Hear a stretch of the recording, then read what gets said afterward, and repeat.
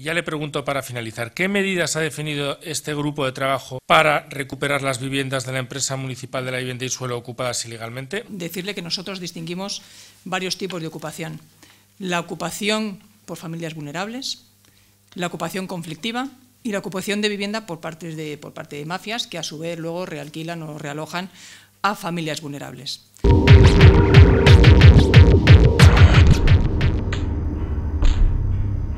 Como es lógico, el tratamiento que le damos a cada una de estas ocupaciones es diverso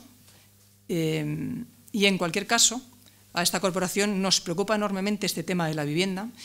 y las escasas viviendas con las que cuenta la empresa municipal de la vivienda para eh, realojar a gente vulnerable que se queda en la calle.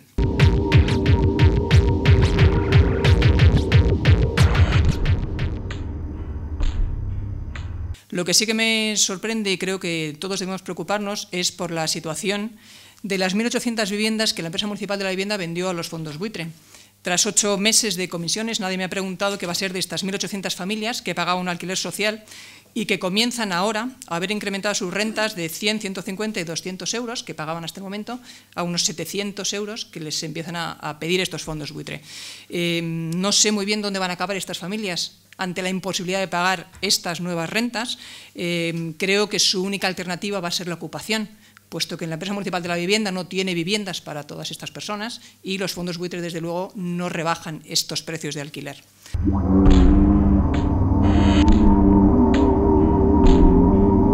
Usted me pregunta por las acciones del área sobre las ocupaciones de las viviendas de la empresa municipal de la vivienda, pero creo que un poquito de autocrítica sobre qué es lo que está desencadenando ahora mismo este problema, pues también deberían de hacer. Recientemente se ha remitido por la Cámara de Cuentas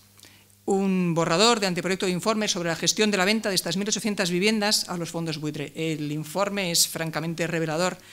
de cómo se vació el patrimonio de la empresa municipal de la vivienda para que unos fondos buitre hicieran el negocio del siglo. Venta de patrimonio municipal a mitad de precio de mercado, 1.800 familias en manos de fondos buitre y un interés especulativo subyacente en una operación que se intentó vestir como de extrema necesidad.